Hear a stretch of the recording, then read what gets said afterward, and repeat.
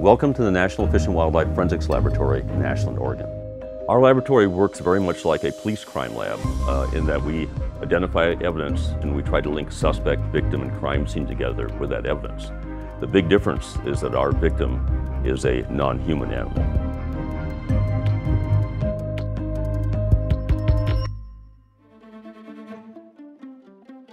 I'm Ken Goddard and the director of this laboratory. When our agent sees evidence at a border, a customs center, wherever, that evidence will be packaged and shipped to us. Our job is to analyze evidence collected for wildlife law enforcement investigations. Our laboratory primarily supports wildlife laws in general, specifically the Endangered Species Act. Sadly, we're the only full-service crime lab for wildlife in the world. We'd like not to be, but that's our reality. The illicit wildlife trade is huge. It's probably in the neighborhood of 17, 18, 19 billion dollars a year. We're certainly impacting the trade, but it's a desperately difficult job.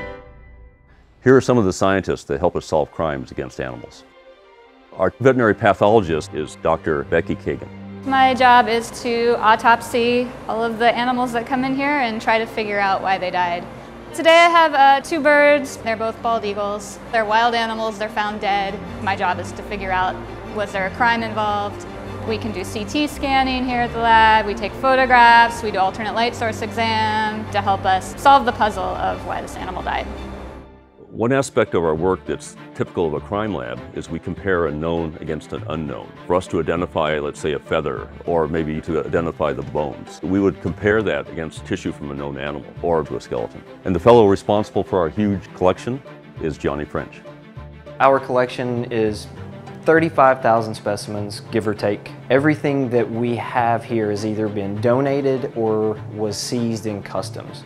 The uniqueness of our collection helps us kind of keep abreast of what we see in the wildlife trade. Most of the time we have to remove meat from bone in order to examine specimens or to get them into our reference collection. Easiest way to do that is take the carcass and chuck it in the flesh-eating beetle tank. After the beetles have finished with the carcass that we threw in there, we'll wash them a couple of times and then the bones are ready for the collection. Heading up our genetics section is Dr. Mary Curtis. The genetics team is important to the functioning of the lab because we look at items that other parts of the lab can't identify. Items that might be crafted to the point where you can't tell what their origin is. So we have access to over 40,000 individual tissue samples in our reference collection that we use to identify different species. One of the more interesting people in our lab is Dr. Pepper Trail, our ornithologist. I'm an ornithologist, a bird expert, so I look at bird evidence and use reference specimens to compare to evidence items to confirm the identifications.